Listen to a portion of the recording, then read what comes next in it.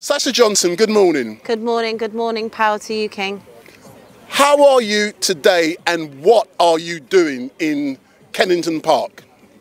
I'm very well today. Today I'm here for the Black Formation, Black Unity, Black Pride and Black Dignity. You can fool some people sometimes, but you can't fool all the people all the time. But now we see the light.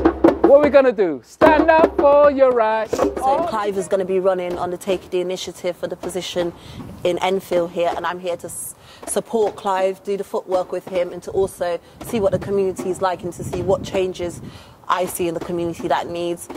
And what we could do to wake up some of the black men and women in the community. We are now beginning to be the writers of our history. That was, we're taking back what was taken from us. We're now writing our own history. So get Good morning, all. My name is Wendell Daniel, and welcome to StreetMic.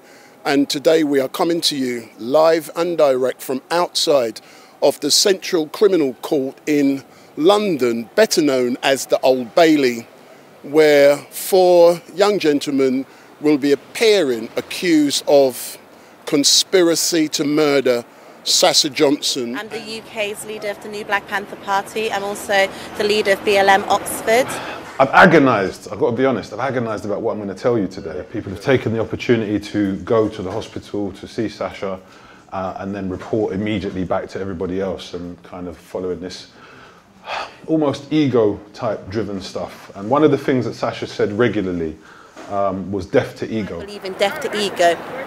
Power to the people. because you know nothing can be achieved if ego is in the way you know and that, that, that is true of what we try to do as a people but equally in, in politics you know as Clive will know only too well Big up StreetMic. Big up StreetMic, long time, long time. Big up StreetMic. Give him the thumbs up, like, comment, share, and also click the notification bell so when he goes live, you will be able to be there. Click your notification bell. So what I can tell you, if you haven't heard it already, is that you know she's a, she's alive and well because there have been rumours that she had passed. She hasn't passed. She's alive. Um, she has been responding to um, to commands. She's been responding to to touch. Um, I've had one of my friends who has been blessed with the opportunity to actually go in and see her. Um, she gasped as, she, as he came into the room, and I like to hope this because he was she was aware of his presence um, which is fantastic news. What we do at the moment is we take, you know, we take heart that she has survived, you know, that she's alive, and that, and this is where I come onto the TTIP stuff. I went to court on the 25th of June, and I was, you know, given the opportunity to represent the family in court, because one of the things I made plain is the state does not represent Sasha. She's not represented by the state. So she's represented by you and I in what we do, whether that be by libation and drumming and going to the park, as a number of people in this room uh, did for you know a long time, and are still doing to this day, going to the park um, by King's College Hospital there, um, but also by going to the court. When I went to the court, I came out of court and I spoke to a man who turns out is the father of one of the defendants. And what I made plain to him, and I want to make plain to you now, is that, you know, as, as an individual, I'm not speaking as somebody who's a member of a political party, I'll come to that in a second. I said to him, look, I don't care whether these people are black, white, or smurfs, you know, as long as the right people have been arrested for this crime. Um, it really makes no odds because at the end of the day, one of the things that happens all too often in the black community is that people are swept up, and, and I don't know if you know, some of you may know, you may not know. Sasha was shot in the early hours of the Sunday morning on the 23rd of, of May. And it was by the Tuesday that one defendant had been arrested. And it wasn't by intelligence led policing, it was by coincidence that he was stopped and searched in southeast London.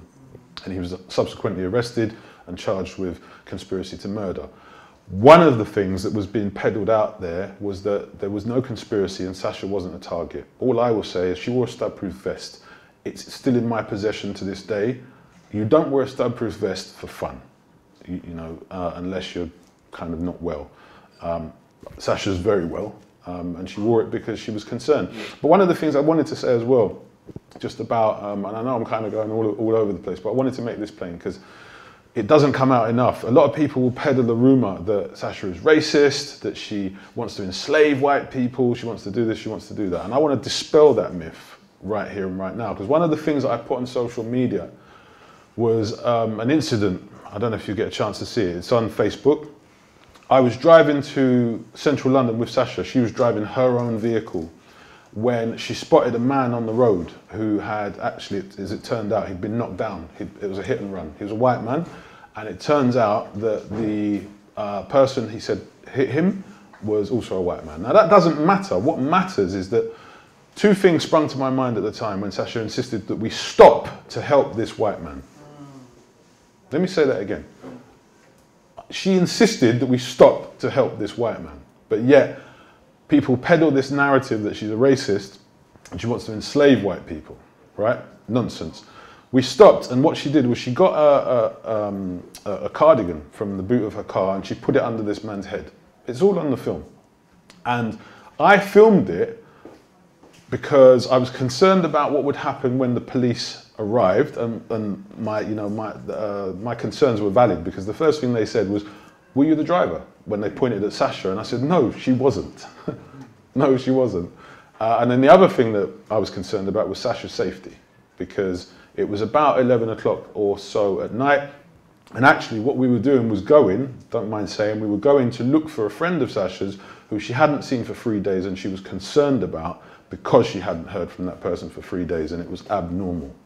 So, in passing, she saw this guy on the floor and we decided we were going to stop and we were going to offer some assistance. The other thing, you know, um, and I will, I'll, I'll, just share this if I may. Um, there was an occasion where before Sasha found the flat, which we've actually now, you know, that was quite painful. We had to empty that flat um, a couple of months ago because she's not going to be moving back there. Um, but while she was living in London, she stayed in a, a, a hotel. Nothing fantastic, but you know, uh, it was okay for, for her and the children. And um, we came out of the hotel one day and bumped into a guy again. He happened to be white, and it doesn't matter that he was white. What matters is the human impact of what Sasha then did. What she did was said to this guy, Are you hungry? And she went and bought him some food. She gave him some money, I think it was 20 pounds. I put my hand out and asked where mine was, um, and uh, bought him some coffee. You know, because that's the kind of person that she you was. You and I were both at the Old Bailey when um, a number of gentlemen were in attendance and they were charged with conspiracy to murder. We were told that the trial date was set for bonfire night on the 5th of um, November. Mm -hmm. You've now said it, the trial is going to be on the um, in the new year, January. Can you maybe explain yeah, no, so right, okay, so that's probably my fault because what, what happened at the last hearing is the judge said that there would be a case management hearing and that would take place on the 5th of November, which is spot on. But what he wanted to do on the 5th of November is set the trial date on the 5th of November, which he then said would be up to six weeks.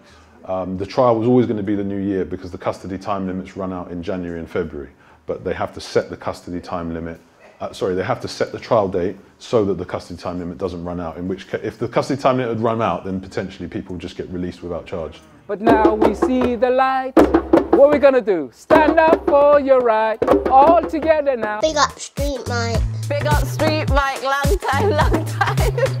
Big up StreetMic. Give him the thumbs up, like, comment, share, and also click the notification bell so when he goes live, you will be able to be there.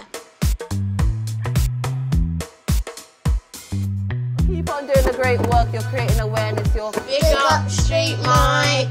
Big, big up, up StreetMic. Click your notification bell.